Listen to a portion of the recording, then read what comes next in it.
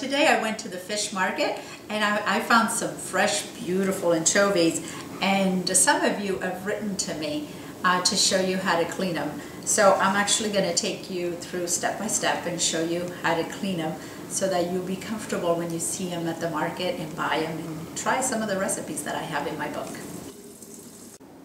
Holding the fish under cold running water, rub off the scale with your nail, scraping from head to tail.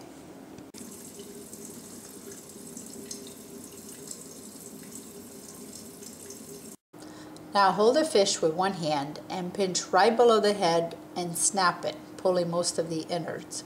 And slit the belly and remove the remaining innards and rinse the fish. If you need anchovy fillet, flatten the fish and remove the spine.